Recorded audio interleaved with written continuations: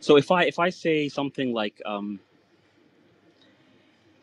if I say that like necessarily there couldn't because there's nothing like Allah, then like everything he described with uh, is is is unlike that, you know, which that that is within creation and that I couldn't say that his nuzul, for example, is like me coming down from like um I don't know the the the, the higher floor within my house, the top level within my house to a lower level, or that uh, um, uh, um he he uh, uh, moves from the arsh or all that stuff, and that he he he he has haraka and intiqal, like like me moving from from from this place to that place. If I say that, am I uh, against the theology of Ibn Taymiyyah?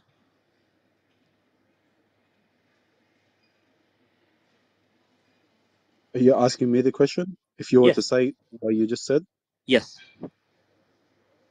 so there's a har- you're like what you're saying that you affirm haraka, if I'm but saying that it's Allah, like if, I, if I'm saying that I couldn't say of Allah that about His nuzul, for example, that it's uh, uh, taharruk and intiqal, like me uh, coming down from the higher floor, a higher floor in a building to a lower floor, or in a house or whatever, or uh, um, or, or that you know.